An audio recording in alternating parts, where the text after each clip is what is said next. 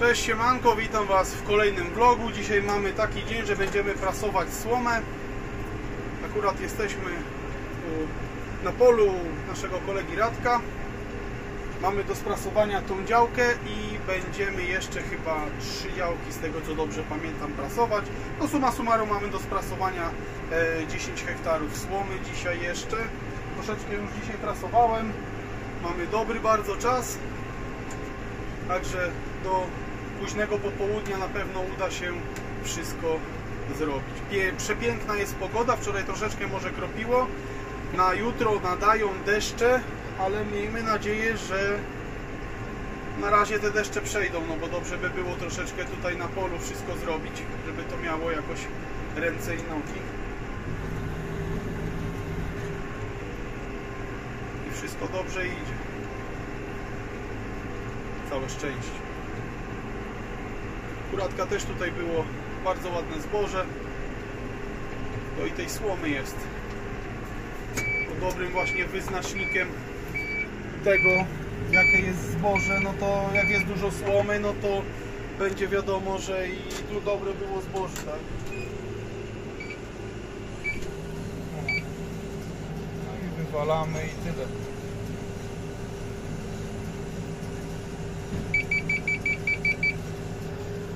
Lecimy dalej. Robimy bele 150. Ostatnio też e, sobie jak siano żeśmy robili, też właśnie robiłem 150, ale na kiszonkę robimy 140, bo powiem Wam, że e, akurat tak na owijarkę naszą jest akurat, bo jak kilka tam zrobiłem 150, to już trochę cienko tam było. Przynajmniej takie miałem wrażenie. Dlatego tak jak kiszonkę to robimy 140, a tak jak już siano czy słomę to też robimy wszędzie 150. Trochę trudna szyba, nie wiem czy to będzie widać. To jeszcze fajnie, tu jeszcze groch jest po sąsiedzku, radzia.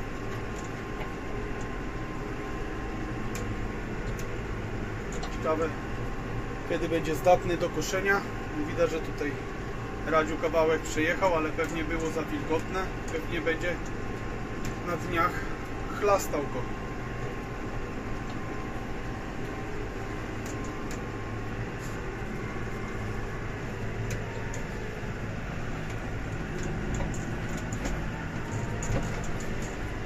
Powoli, powoli do celu.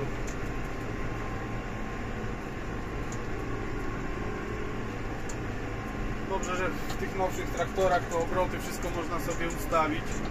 Bo jak kiedyś się e, robiło Ursusem, no to tam tak naprawdę człowiek nie wiedział do końca e, jakie nawet obroty są. To wiadomo, że to wszystko na tym zegarze to było umowne. Było gaz w podłogę i tyle. Tutaj sobie można gaz jakoś ręczny ustawić. I lecieć stałą prędkością. A też to działkę jak skończę, to będę musiał jechać się zatankować, bo widzę, że mam trochę mało paliwa. Także polecę, zatankuję się, bo tu mamy blisko do nas na bazę i polecimy resztę działek jeszcze zrobić. Ale dzisiaj naprawdę fajna pogoda jest. Strasznie może nie jest aż tak gorąco, że jest uciążliwe to. Jest fajnie ciepło. Nawet bym powiedział, że czasem taki delikatny wiaterek dmuchnie. Robota na taką robotę jest fajna.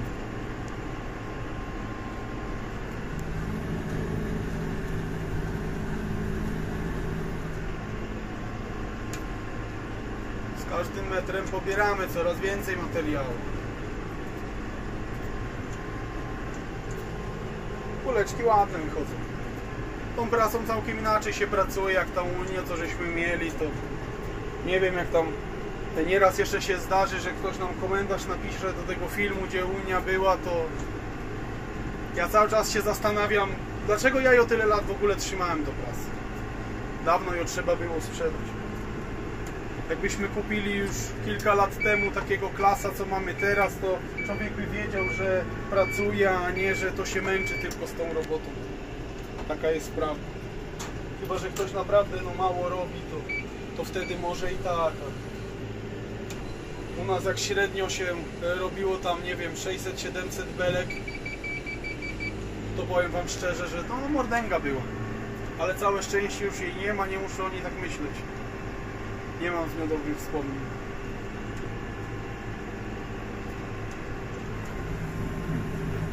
Kolejna beleczka zrobiona i lecimy. Jestem ciekaw jak u Was wygląda sprawa ze żniwami. U nas tak strasznie dużo aż pokoszone nie jest.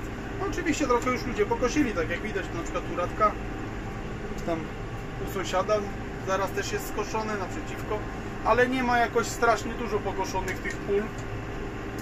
Mój kolega tutaj e, z Ostrołęki ostatnio też do mnie dzwonił, pytał się, też powiedział, że w Przężyto wjechali kombajnem, wydawało się, że jest suche i w ogóle.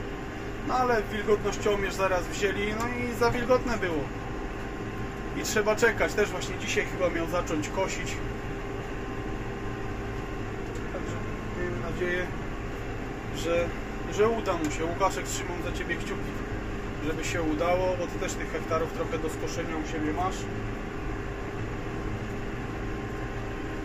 Ta pogoda troszeczkę może figle nam płata. Wiadomo, ten deszcz jest potrzebny. Nie ma w ogóle nawet co dyskutować, bo w ziemi jest bardzo sucho.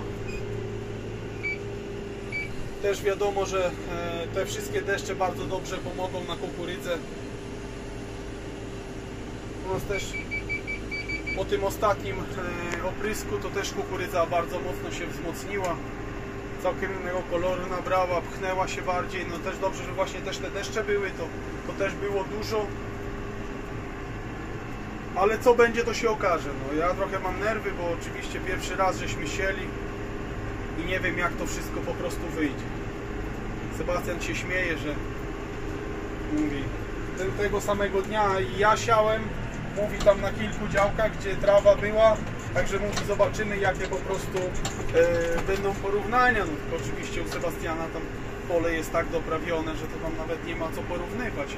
Ale mówi zobaczymy nawet jaka będzie wysokość w ogóle tej kukurydzy, jaka będzie różnica, nie? No bo było, mówię, tego samego dnia siana. Także zobaczymy.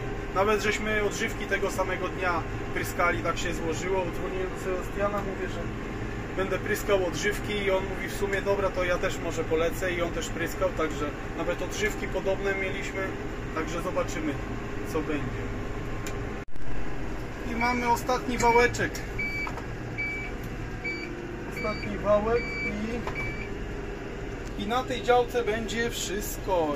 Później jeszcze później jeszcze zostanie nam jechać bodajże na cztery działki i prawdopodobnie na dzisiaj to sprasowania będzie tyle. Zaraz aż zobaczę ile w ogóle do tej pory żeśmy zrobili tak naprawdę bel. 59 bel żeśmy na tej działce zrobili. No to nieźle. Tutaj jak dobrze pamiętam jest 5 hektarów. Pszenicy było. Trzeba by było się Radka dokładnie zapytać, ale chyba 5 hektarów było. No to praktycznie już tyle słomy zrobiłem, co przedwczoraj tutaj u takiego chłopaka na 10 hektarach. Także można już sobie wywnioskować, jakie to było zboże. Ładne było zboże, bo kuradka zawsze jest zboże na wysokość lamperii. Także zboże było naprawdę bardzo ładne, co po słomie też nawet widać. I słoma tutaj była niziutka, bo e, tutaj nie było takiej słomy, która by miała, nie wiem, półtora metra, czy tam metr, tylko taka dosyć no, niska była słoma. I dobrze. Prawdopodobnie jutro albo pojutrze e, chłopaki będą zbierać. Nie wiem, czy nawet nie będę im ładować. Jeżeli tak, to może też coś nagramy z tego, jak, będziemy jeszcze ładować. No i zaraz będzie znowu belka.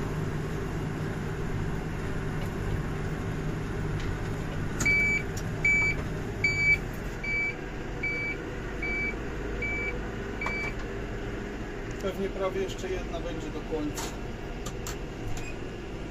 I dobrze. Także co? Naprawdę widzimy się na kolejnej działce. Ja muszę do Radka zadzwonić dokładnie, gdzie muszę jechać. Także widzimy się na kolejnej działeczce. kolejna działeczka prawie jest skończona. W międzyczasie jeszcze jedną prasowałem. Rozmawiałem z Radkiem. E, Ta pszenica, którą robiliśmy, to tam nie było 5 hektarów, tylko około 4. Bo Radek powiedział, że tego grochu jest więcej, a tam ta cała działka ma 10 hektarów. Także ładny wynik, 60 bel. Biorąc pod uwagę, że to jest pasówka 150, a nie tam jakieś 120 Sigmy, to wynik uważam, że nie jest zły. Tutaj na tej działce zostało nam jeszcze dwa wałeczki. No i później jeszcze lecimy na pozostałe. Radek powiedział, że tych działek będzie trochę więcej, bo działek będzie prawdopodobnie jeszcze 5 albo 6. Także do późnego popołudnia mamy co robić. Prasuję teraz ostatni wałek na ostatniej działce. Miałem skończyć trochę wcześniej, ale była mała awaria, spadł mi jeden łańcuch, nie wiem w ogóle dlaczego i Boziu ile ja się umordowałem, żeby ten łańcuch założyć, to wy nie macie pojęcia. No ale już, że tak powiem, kończymy prasowanie. Najgorsze jest to, że jutro ma padać i dlatego zależało mi, żeby to wszystko było sprasowane i gotowe do zabierania tak naprawdę.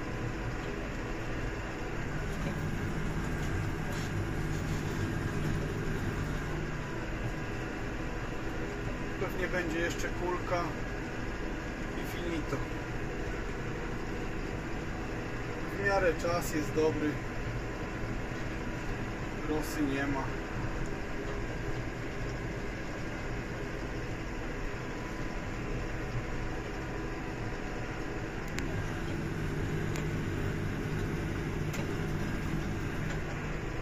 Sto dwadzieścia.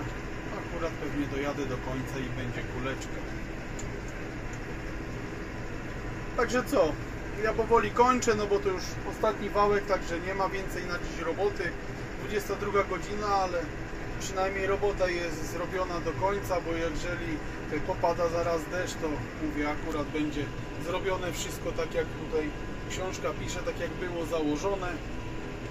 Ja oczywiście tutaj zapraszam Was na naszego Instagrama, żebyście pamiętali, na naszego TikToka i do zobaczenia w kolejnym filmie.